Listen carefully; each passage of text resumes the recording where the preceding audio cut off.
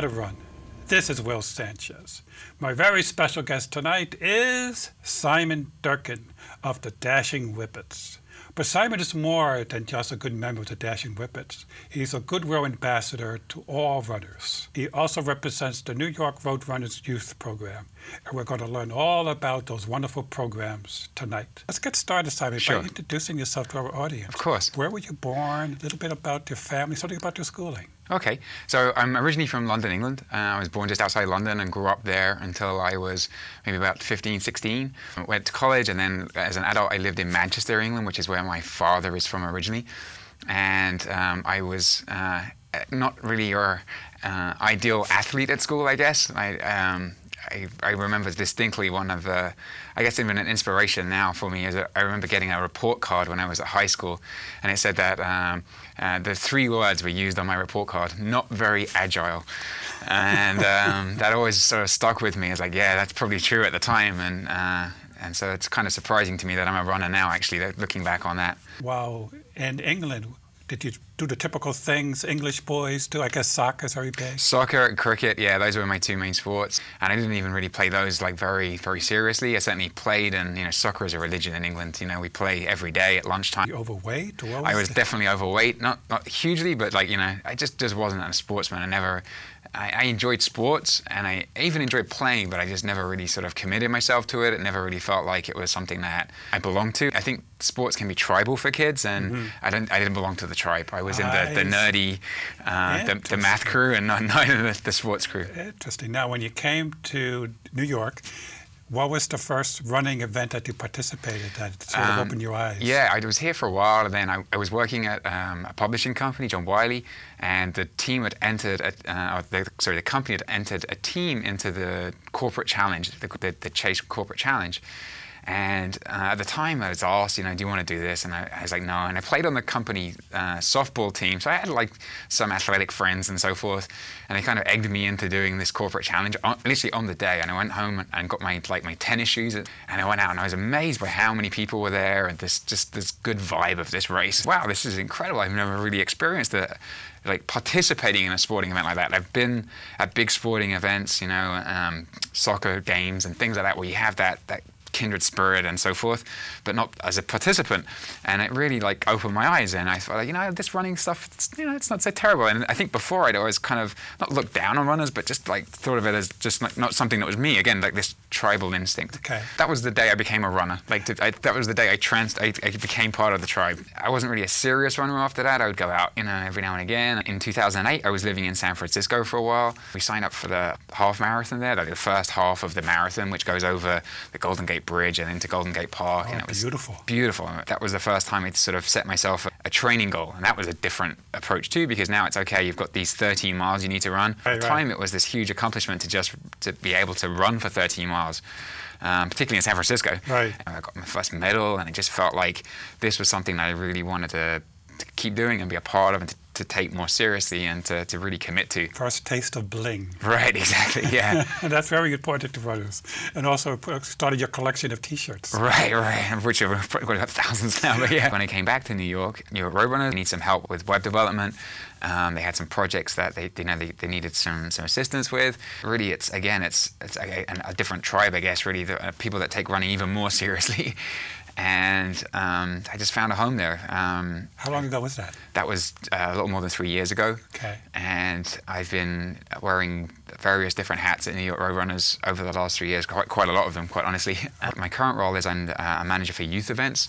So we, we put on a number of events through the year. Uh, I think it's around 75 events that we have during the year. 75 Exactly, events. yeah. And that's 75 major events. There may even be some that we're not counting in that, which are kind of like day-to-day events, but many more than anyone ever knows about. And That's right. I think everybody's heard of Team for Kids. Right. So Team for Kids is our charity team for adults, and Right. that's part of the thing that everyone gets confused. Is it's the team is for kids? No, the the team are all adults, but the the cause that they're running for are the kids that are within the New York Roadrunners youth programming, where we train adults to run the race. Uh, many of them are first timers uh, or people that you know are inexperienced, and they, they like Right. working with a with a team, and they get the training. Um, they get a lot of sort of experienced people helping them.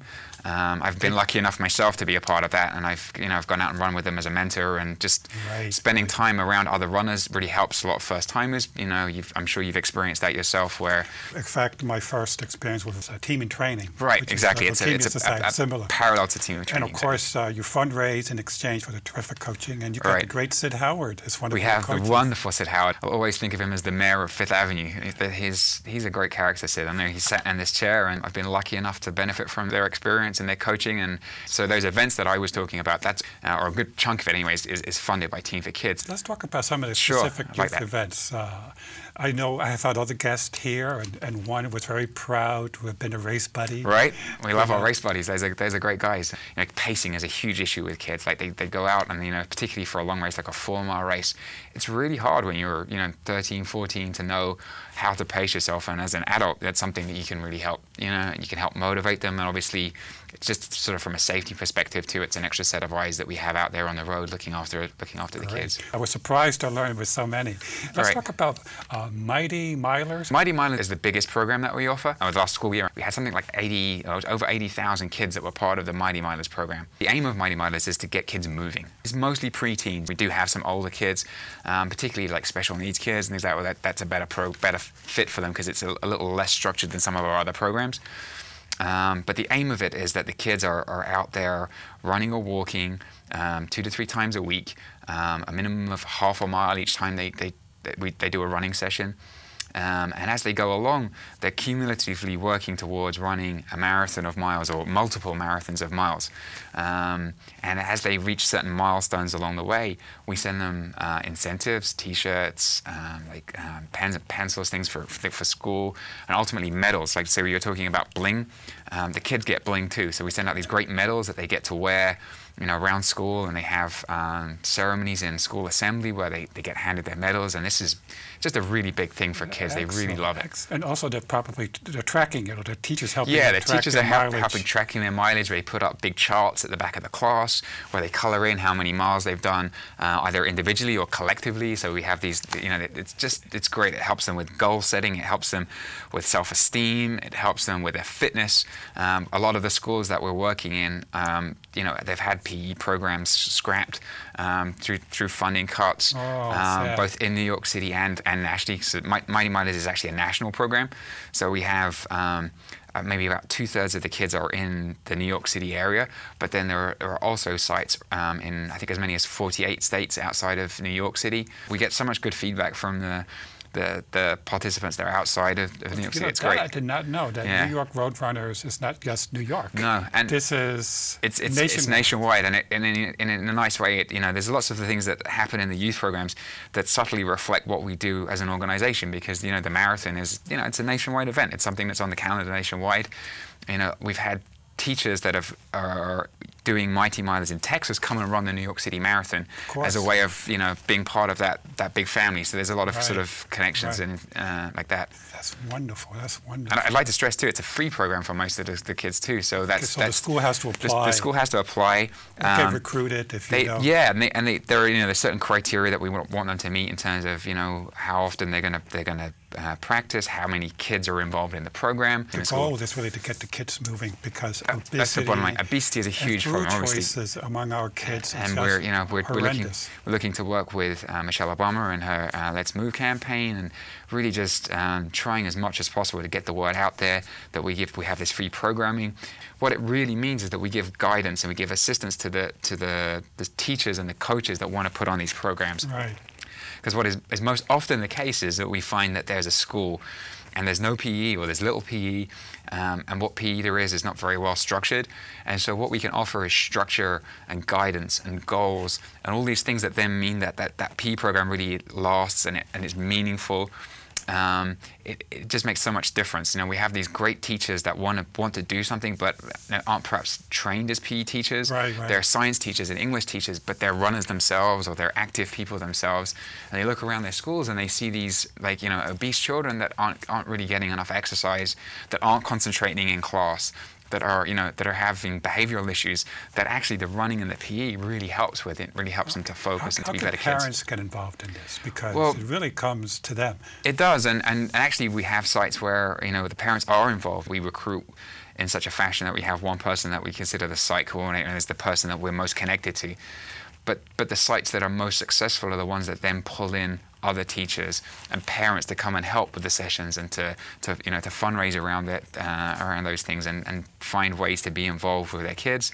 Often the kids, surprisingly, this is the, the other beautiful thing that we find is that you know around New York City we, we've, we've done some research on this and we find that it's great that what happens is the the kids do the Mighty Milers program at school and they go home and their parents that aren't really probably as active as they should be then start to become more active. Very nice ripple effect. And one of the big things that we're doing now, actually, at Roadrunners, to try and complement that, is we're going out into the community and we're working in communities like Harlem and the Bronx and trying to put on um, similar kinds of programs to Mighty Milers that are available through community centers for you know for adults and for seniors. Because you know seniors is a whole other world that, that has almost the same problem. You know, there's there, there, are a lot of seniors out there that spend the whole day watching TV. That's right. That's there's not really a, a good option or a safe option for them right. to exercise. so we're doing uh, some stuff like that too. Lon Wilson involved because he yeah, Lon, does, Lon does some of that stuff, right? Sid actually uh, you, you mentioned Sid Howard before, but Sid is, is actually working with us right now. Good morning, everybody. I'm going to say it one more time. Good morning, everybody. Good morning. Oh, I like that much better. The name is Sid Howard.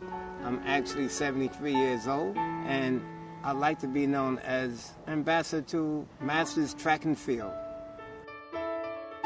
Today we are at Tilden Senior Center we are here every Wednesday to uh, have exercise as well as healthy living tips and walking to the seniors here. The senior community is not giving a, a lot of attention. A lot of seniors just live for today. They have no idea that if they did any type of movement, that it would benefit them. Even if they only move their bodies twice a week. And we also try to encourage them that if any type of exercise would definitely help with avoiding memory loss as well as Alzheimer's. We have over 30, sometimes 35 and 40 seniors that they are really excited with the program. They lost weight, they are more energized, and in fact, they have somewhere to come and not only eat, but to do exercise at the same time. He's an inspiration. I mean, I think he's 73 now. 70. All the things you mentioned about goal setting and, and getting the camaraderie, it reminded me of back of my feet because right. all those criteria not only indeed, pertains to indeed. kids, but Anne Mahlum took those same right. principles and started this wonderful organization, Back on My Feet, which you right. yourself are involved. But I've certainly I've worked with them and we've supported them through through the Dashing Whippets. We've done some some benefit for them. They have a partnership with New York Roadrunners. As you get on the path to self-sufficiency and you move well beyond homelessness, you're going to have a big home in the New York City running community.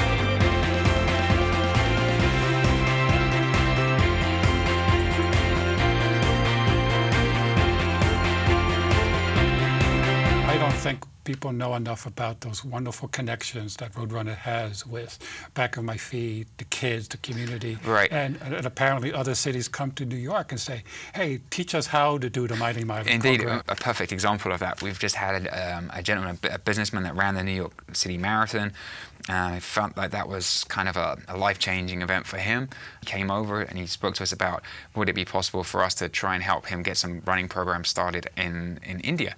And so we've worked together, and they now have, I think it's five or six schools that are in this school year are going to be doing a version of Mighty Milers that suits their, their system. Welcome to the Running Posture segment of Form 101. Running posture is an important element of running form for two main reasons. Not only does good posture help runners move more efficiently, it can also promote a positive mental outlook while running. This segment focuses on three key elements of running posture for elementary school children. Then, for ways to teach your runners good posture, check out the activity segments featured in A Running Start. The first is running tall. This means keeping an upright body and keeping the head up so the chin is parallel to the ground. Here are some examples of not running tall. Hunching over, leaning far forward,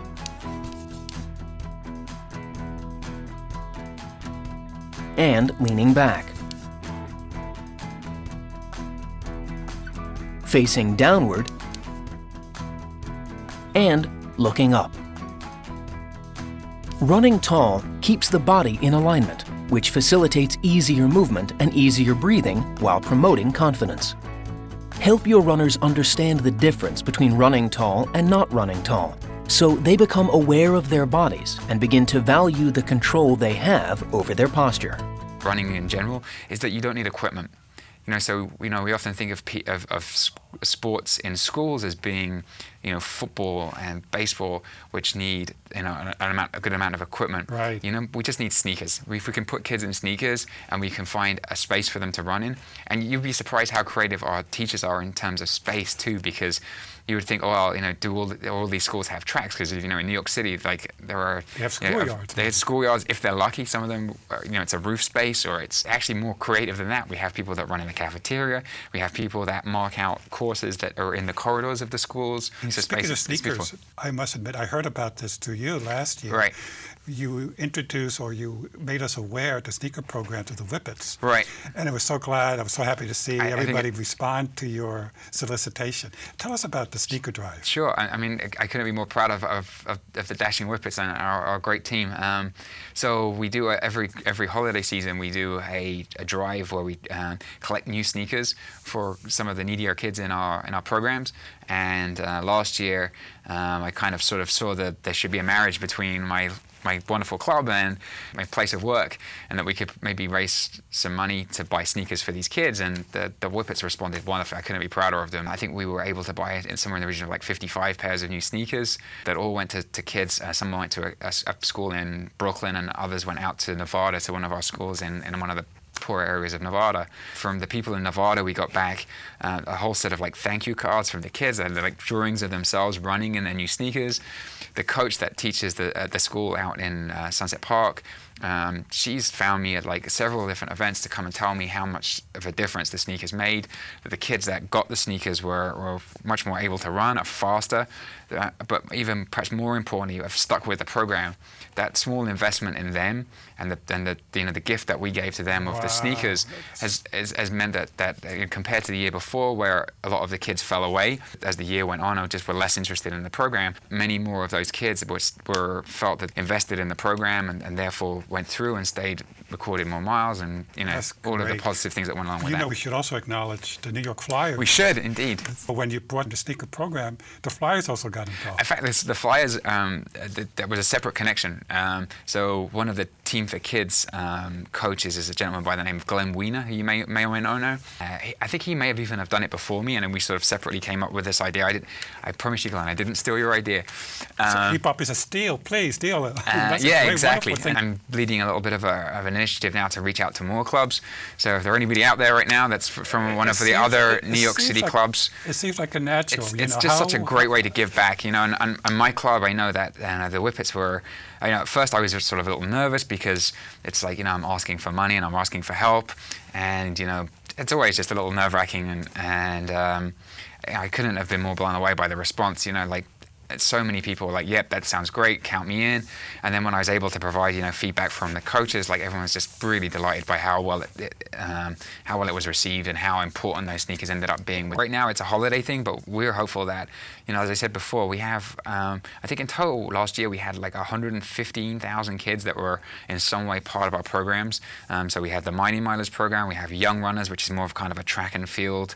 Uh, we have these wonderful events called Jamborees, which are um, held at the Armory and Icahn Stadium, and we have as many as 3,000 kids come to those. Wait a minute, the Armory, the one, the New Balance Armory? The New Balance Armory. So if you're you're a kid, imagine how great this is. You're you're an eight-year-old kid, you know, and, and uh, you know the Millrose Games just happened in February. You know, they got to see some of these world-class athletes. Then a few weeks later, here you are. You're that same you're that same eight-year-old kid, and you're on the starting line on the same 55-meter track. But it's, you know, it's awesome. just no ordinary track. Oh, It's no, the Armory is the- fastest track in the world. it's special. I go to the Armory so often with these events, and we're lucky that we, we you know we have another great relationship with the people at the Armory, and those, they're really great people there. We have you know a number of our kids programs there, City Sports for Kids, which Those are coached by the, the Glovers. The Glovers, exactly. And Bob and Shelley have been doing that for like 20 years, something like that crazy. It's like it's a great, great program. We just had our last one of the spring uh, spring events this past Sunday. That's a program where we have like 300 kids that come in and learn on, on a Sunday afternoon. Um, track and field, we do sprinting and long distance running, and we throw javelins. Can you believe we throw javelins? We have these like plastic, uh, they're called turbo javelins. Oh, good thing it's plastic. Yeah, actually, I have it was kids. they, the kids love it, and it's just it's just a great program. Yeah, getting back to the armory, like we so we go up there all the time, and I, I'm there so often, and you walk through the door, and there's this magic, like you can't describe it. Like oh, it's. I, I've been there once. It is magic. You walk through the glass doors onto the track, and you know, particularly when you get onto the Mondo surface, onto the track itself, like it just has this amazing presence. It's like being in a, a cathedral, or like, like, it has that same presence. It's, yeah. it's beautiful. It's really, Anybody at every, of any age would, have, would feel that what you felt. I, I, I hope so, and, I, and I, I know the kids do, and that's, I mean, that's that, that's why I do what I do. Honestly, I, am so lucky that I get these opportunities where, um, you know, even on the craziest days. I mean, we, we've had 3,000 kids in the armory uh, for for one of these jamborees, which is a lot of kids and parents and coaches. And you know, I'd be a liar to say that it's not crazy. It's crazy, but in a great way. It's crazy. Right, mean, it's yes. busy and it's you know, there's just an electricity you can't describe. And and then amongst all of the craziness, when you're trying to you know pulling your hair out, organizing, and getting all the kids ready for every event, and you know the gun is going like every minute, like there's another race, another 55 minutes, bang, I'm over. And there's there's a moment in there where you know you know you just see a, a kid smile, you see a kid that um, wouldn't normally have had this experience that we've been able to bring to them, and you get that little that, that moment, Yeah, and you have yeah. to capture those moments because it, it's there. The reward is there. It's, it's beautiful. I, love it. I remember when I first stepped on the armory track, I thought I was running on clouds. Right. cloud. It was just a different experience. It's it's great. You it really is great. you felt, even when walking, you felt like you were flying. Right, right. Never mind running I- it. I It completely was hear you. It's great. Indeed. But let's talk about the Dashing Whippets. Sure, I'm sorry. That's your team of choice. It is. How did you find them? How did you pick them? Um, so there's an event every year called National Running Day, which is sponsored by New York Roadrunners, and we had an event um, 2011. Uh, it was called the Singlets Mixer, um, which I have to give a shout out to my wonderful girlfriend Jennifer. This was her doing. She sort of she created this event where um, clubs could come along, and there was a fun run. I think it was like a two or three mile fun run, and we asked clubs from all of, all over the the, um, the city to come and represent. Bring three or four members, wear your, wear your jerseys, like kind of like a race. But sometimes on a race day, you know, you see all these clubs going by, but it's kind of hard to know, you know, what are those guys about? You know, is that a club I want to be with? And the whole point of this was for people actually just like myself that hadn't chosen a club but wanted to be in part of the club system because it makes such a difference being in, in a club. Like the Whippets have, have really helped me as a runner, like in ways that you know you really can't describe. And you know, just being a part of a team in terms of training, um, you know, friendships and camaraderie, but also just just making you more sort of serious and competitive.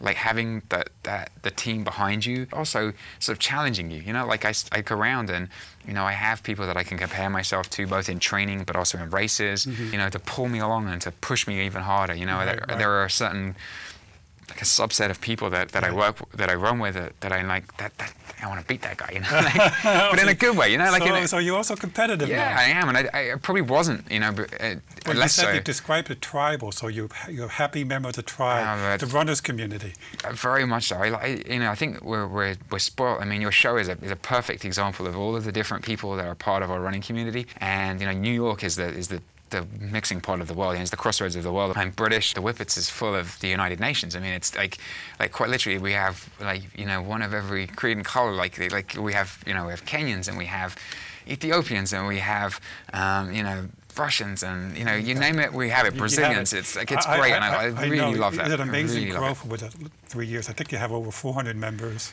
We do. And some of them uh, even come from as far away as France and Spain. Right, we have Javi that comes from Barcelona, and he, he's like uh, he, he's a, a, a postgrad or a graduate student, and so he's been spending some time at um, the universities here in, in New York, and like he'll come for like three months, and while he's here, he's a whippet. We have a guy from Finland, Jyrki, who's like one of our you know it's like a cult hero at the, the whippets. you know, he's a great know, runner, and he's here. Um, it's it's great, He's almost like a an ambassador or something like that for the whippets. It's great. I'm totally impressed with the Whippets.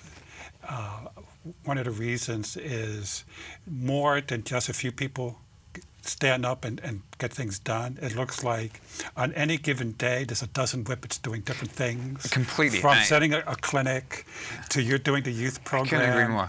It's somebody's doing a, a, a, charity with Michael J. Fox in Jersey. Right. It's like on and on and on, and it's both men and women. It's mostly a young club. Mostly, yeah. And we have, we have to give a special shout out to, to your, your, photography team. Ben, Ben and CD. These guys are out there in all weathers. Like, I, I can't love them enough. Like, um, they, they take time out of their own racing schedules to instead of, of racing, they take photos and we get these like a, like an amazing package of photos and the quality only gets better. Like I think Ben has really been seriously into photography for about two years and so he, like I think he's using it as a you know sort of a learning project as well. But it, like the, the photos that we have are just like every time are, are amazing. I always say to Ben that he should take royalties from the number of people that use his photos uh, and at CD too uh, for um, their profile pictures on on Facebook because we all have these wonderful we have these wonderful pictures of us in, in full flight coming down Fifth Avenue or whatever. Oh, I, I love the one you, where yeah. you guys were cresting. He actually like specs out the, the locations. Like he'll go to a race course the week before and and see where the best spots are. And He's an amazing photographer. His dedication uh, is great. And the nice thing about it, he also looks for other team shots. Oh, right, right, right. So the front runners and all these other guys that we're friendly with, and, and that's I mean that kind of brings us back nicely to what you were saying before, in the sense that like the, the New York running community is great. I mean, what what Roadrunners does is provide these events and so forth that, that we have the opportunity to race. But the clubs then do something wholly on top of that, which is this whole other layer of, of community and you know family really for I think is the best way of describing it you know, we go out there every week, and when we see people that we know from the, whether it, they're on Van Cortlandt or whether they're on, you know, the front runners or North Brooklyn runners or the flyers, you know, everybody's cheering for each other. And, you know, I wouldn't be a part of the running community, or certainly not as dedicated a member of the, the running community if it wasn't for that support the Fifth Avenue Mile, I, I, put my Facebook status afterwards that I felt like the mayor because when I was running down down there, that's 20 blocks, right? And I could I could literally hear, and I was so focused on my running, I wasn't like on every single block there was somebody that I knew from you know from road runners, from the Whippets, from from one of the, the myriad clubs, and it just felt amazing. Like I, I can't tell you how much you know pride I took in hearing that and feeling that that love. It's just great, and it's it's a big part of running. Listen, on that note, we have to close it out. Thank you. I wish you great success with all these youth programs. Thank you, Will. And in your own personal running. I appreciate it. And many, many happy years and running with the Dashing Whippets and beyond. Thank, Thank you. you so much. Thank you, Will. Take care.